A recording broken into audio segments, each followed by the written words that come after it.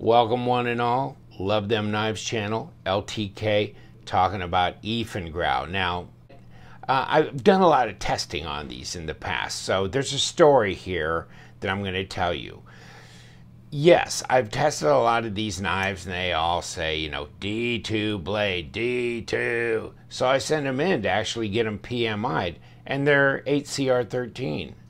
They're not D2, okay? One after the other, after the other, after the other. We've got I've done probably at least 6 or 7 and and one was titanium handles and I go, "Oh, for sure, for sure, this is going to be real D2." And a viewer of mine saying, for sure I've been told that'll be D2. When we tested it, it wasn't D2. He contacted me saying, I know, I have not been in control of production. Okay.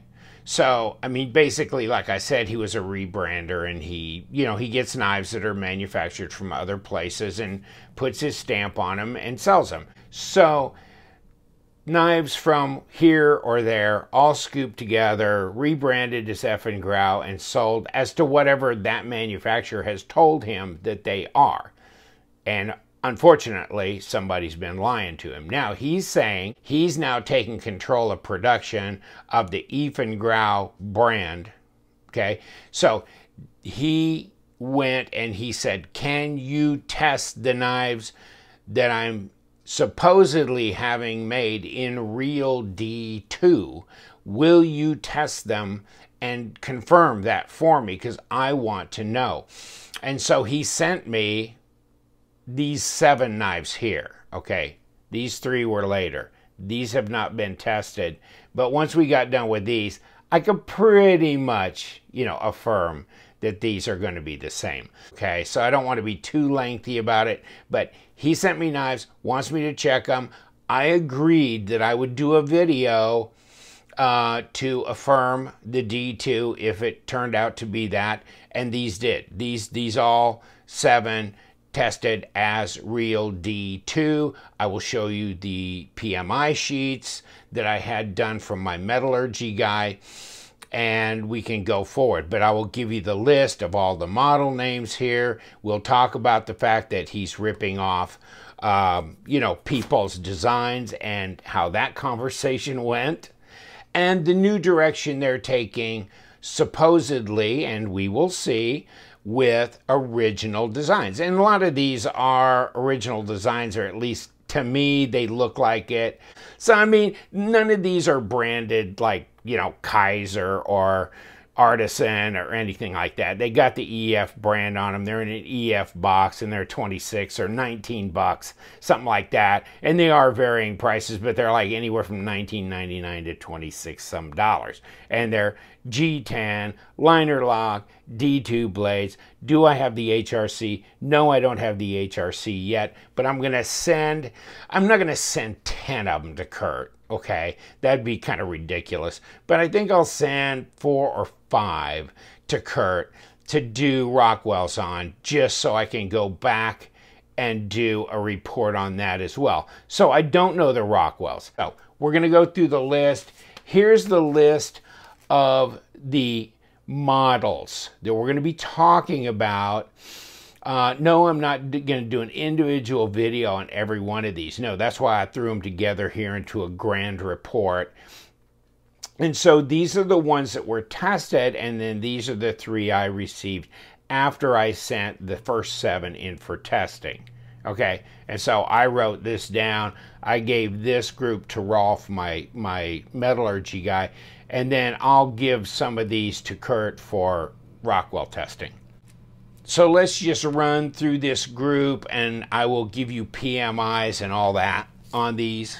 The first one is the Eafengrow EF 934 and you can get it in at least three different colors which it says here 26.99 i'm a prime member because with the pandemic lockdown i go okay uh, I had already left Netflix to go to Prime, but it's nice that I get free shipping.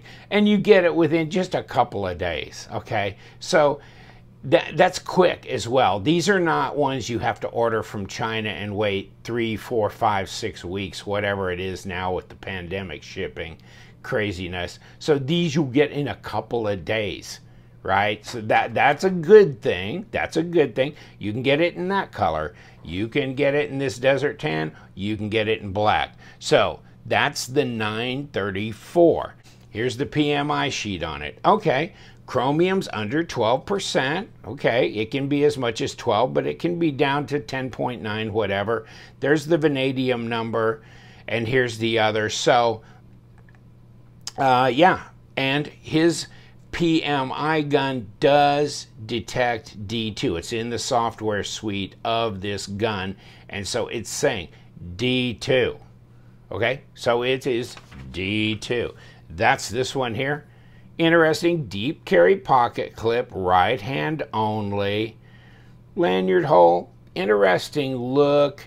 Uh, can't place it. If it really is a knockoff of somebody else's design, let me know. But this doesn't look exactly like anything, uh, but I've seen this blade shape before. Uh, handles are handles, eh, so I'm not sure. But this one definitely is a knockoff of the Artisan Orthodox. And, you know, I told him, mm -mm -mm, this is just not cool. I mean, there's, you know, you can do original designs. There's so much out there you could do. Why? And so that's, I mean, he's, oh yeah, that's what the road we're headed down. We're going to do original designs, and I'll show you some later that I've printed off of his site, and I'll give you the link to the Eafengrow Instagram site. Uh, and you can see what's coming out. There's going to be some original designs, thank God, and getting off of this. Now, you want a $26 Orthodox in D2? Whatever. But, I mean, I talked to Russ at Artisan Knives, and yeah, he's not a happy camper that they've done this and this, and I don't know what else they have tried to copy. Although I'm, I kind of doubt that that's actually impacting Artisan Cutlery's actual sales because these are different price range and different stuff. So, but but not not making excuses. That's just not right. 1999 the Orthodox. Yeah, it looks like it. And here's the PMI. Okay? So there's your chromium. Vanadium a little higher, huh? Uh, so this is this is D2, obviously. And, you know, originally the Eafengrow owner sent me uh, his mill sheets that he got from his supplier saying, here's what I got. Here's what they're telling me. So that's I passed them on to Rolf as well. But our results are our results. Okay, they got nothing to do with his sheets. I just thought he'd like to know just for the hell of it. Now here's the next one. Comes in three different colors. This blue, this, or black. And yes, it looks just like the Ravine or similar to it. Uh, although, you know, it's a this is a Haas. I mean, this is a huge ass knife. And there it is, deep carry pocket clip blue uh, screws there, kind of a blued uh, pivot, all that kind of hardware. But yes, uh, interesting. They're they're all sharp. They all seem to be centered. I'm not getting any blade play or lock rock, and this has got some uh, skeletonized uh, uh, liners. They're heavy liners. They're pretty heavy knives. What does that little sucker turn out to be? Well, it's D2. It's D2. There's your vanadium, not quite 0.8, but still fairly high. I've seen a lot of Chinese D2 with vanadium levels at 0.2 or 0.3 something. So, you know, if it gets up to close to 1%, I'm, I'm kind of liking that. And so we're in good shape there. Okay. Uh, how these will hold up, I don't know because I don't, like I said, have the HRCs. So I don't know if this is a 62 or if this is a 54 or 55. Who knows? I'm going to guess they're probably right in a mid range of a 58 to a 60, but that's just my guess. But they're sharp. This this one's not as exciting to me. I don't like the tip down only. I don't like this positioning of this pocket clip. But the rest of it's kind of interesting. and I don't think it resembles anything I'm aware of. It's the EF 941. Here it is. It's a rockin' 1999. So no money there. And of course, it comes in this color, in this kind of jade, this natural G10 on and in black, like many of these knives do. Okay. And so here's the sheet on that. Vanadium, almost up to 1%. Getting higher. Chromium went down a little bit. It's almost 11%, but yes, it's a D2. Okay? Next is, yeah, one that looks like the sheepdog. Uh, kind of strange. 1999. Yes, you can get it in different colors. So you can get it in this color. You can get it in that jade green. You can get it in black. Okay. Ball bearing opening what the heck? And so here, the sheet on it, and the vanadium is varying, the chromium is varying, but not a whole lot. Okay, and it's actually D2. So this is what it looks like. It's thick, it's heavy uh, for its size. It's a handful.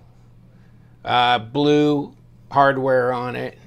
1999 shooter, uh, stonewash blade, carried around, beat it, who cares?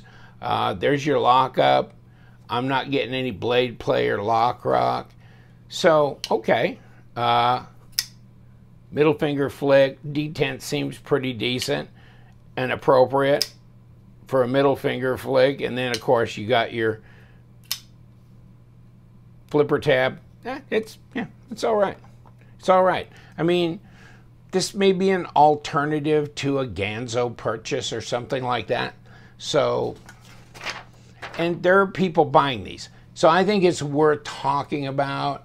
And if they get into original designs and they kick it up and they go to titanium and they start getting into other things, okay, I want to follow. I want I want to find out what's going on. I mean, there's some other knife companies doing really well in the market, and I could have written them off early too, but I didn't, and and you know they've turned everything around and really done well. EF 929, interesting looking knife. Can't really place it as a copy of anything, but you can get it in that. And these are so easy to dye. And 24.99, um, whatever you get. So there it is kind of interesting design, I think. Not bad. Uh, pretty good ergos. Nice big choil up front. That's sharp. Okay, so it's sharp out of the box as well. And here's the lowdown on it. 11% chromium, 0.733 vanadium. Doesn't look too bad. Uh, so it's real D2. Next, this one is kind of an interesting one, isn't it? So this is the uh, EF910, and it's a 24.99 shooter as well. Kind of an interesting green color, or desert tan, or black. And I've got black. What do you think? I, I, I, mean, really, I like this, and I'm trying to place this if this is really a copy of anything. Um, I don't know. I you know I've got the Wee Miscreant, and to me this looks a lot like the Wee Miscreant because the Miscreant's got a bunch of holes in the handle. The blade's not the same because that's a Burnley design, right? So yeah, this doesn't look like a Burnley design. So maybe some design cues from some knife that was in the designer's head or whatever that did this, but this is yeah, kind of really nice uh, detent. I, I think that's a good looking knife. So, yes, I mean, some of the designs look original and look interesting and 25 bucks and free delivery if you're a prime member and you get it in a couple of days. I understand the charm. And there are people that that really um, you know con- contact me and communicate how they like their Eafengrow knives. So it is what it is and I had one individual who says, you know, I mean, he was commenting about my review on the SRM knives in 14C28N, and they're good, solid knives. Of course, they're the same as real steel, SRM, Sanrenmu, that kind of thing, saying, you know, there's so many reviewers that just just trash those kinds of knives, and I feel bad because I don't have a, a very healthy budget for buying knives, but I, I, I like knives. So, I mean, I bought one and I kind of felt bad until I saw your review and, and you, you were really up on it. And it's like, yeah, I mean, budget knives are budget knives, but they, they can be damn in, interesting and entertaining. I mean, I love Ganzo knives. Uh, you know, uh, Kubey makes a line of uh, very affordables. And so Tucson, their G10 models. And of course, you got Grau. Okay, so if it's real D2 now, this and that.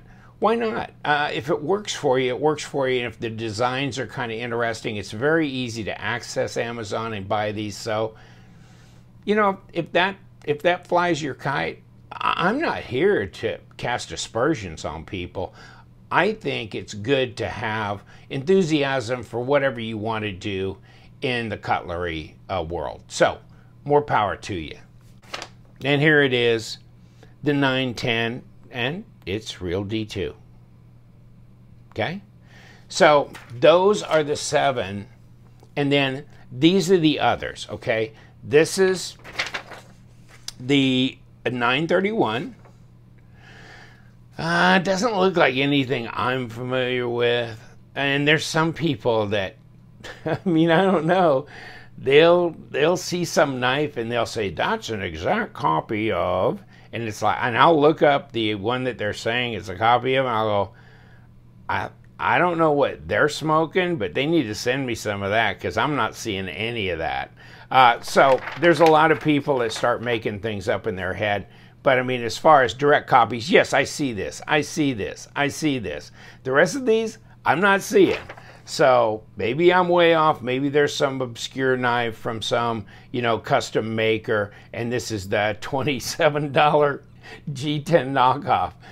Whatever, okay? So, and then this one, I find, oh, I never did show you this. Okay, so that's, that is interesting. Deep carry clip, you know, open design, big, heavy steel liners, okay? Really feel structural but they've done they've skeletonized those those uh, liners. But ooh, yeah, that's a whole lot. And but they're comfortable. Um, they function well. They're easy to disengage. Uh, you know, it, you start getting to the point where what more does it have to do? Uh, it could be lighter, it could be thinner, but a lot of these these Ground knives are really fat daddies. And okay, but they fill up my hand. I mean, I actually feel like I've got good purchase on them because of that. So, okay, a little heavier, a little fatter, but really comfortable in the hand, maybe for long cutting tasks.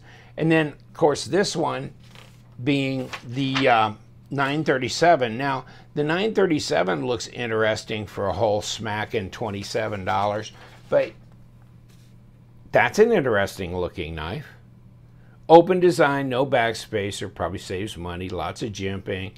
Uh, don't know if I really need the blue hardware on here, but I know Ganzo went that way at one time, and, you know, and we I think I thought it was pretty cool at the time. Now I'm not so sure, but what they couldn't just leave it silver and call it good.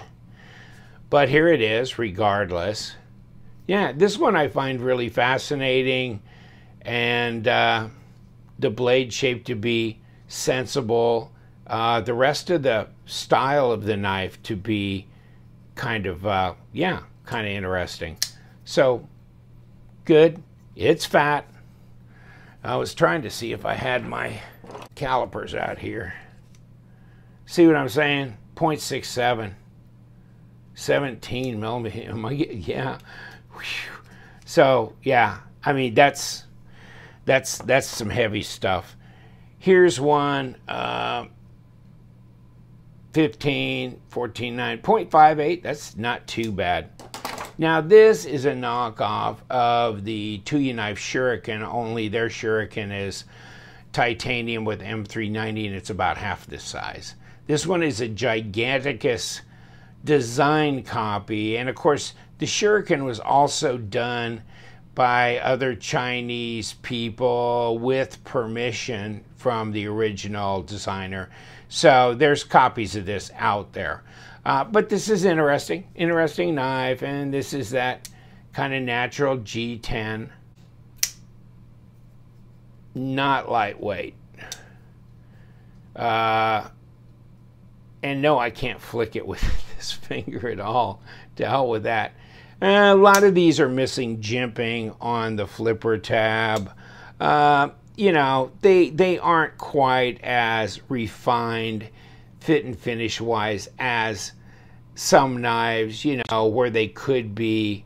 They're a little edgy in places and a bit unfinished. Uh, some places, other places, not bad. Um, it's not bad. So there it is. Here it is on the Amazon in three different colors. So you can get it in the desert, you can get it in the black, you can get it in the natural G10. Pictures of other models coming out. So he's going to have like an axis lock. These are this is a nice design here.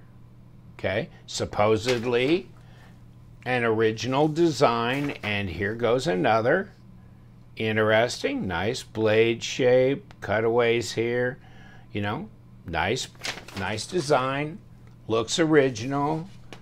Um, I've seen this kind of blade shape before, but I can't spot this knife necessarily as a copy of anything. Supposedly it's an original. And uh, check this out. Not a full picture of the knife, but it looks interesting, doesn't it? This is on his Instagram. So, looks like titanium. Don't know what the blade steel is. Next, this one looks interesting as well. Blade shape wise, cutaway in the blade, axis lock. Could be pretty cool.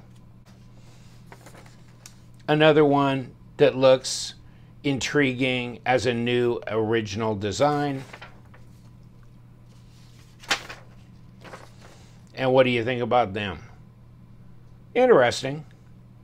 Maybe not my cup of tea, but yeah, interesting with this pattern on the scales, stonewash blades. So, hmm. Keep my eye on Eafengrow, see how they go, um, and see how they evolve. At least the blade steel as we have tested it, has now transformed and gone to D2 because he has taken control of the manufacturing process, which means we should be getting steels that are true to form. I'll stay up with that. We'll continue our testing, and I just wanted to let you know this is what we're doing. Hope this was informative and interesting. And you know what we do. We love them knives, so you guys stay sharp.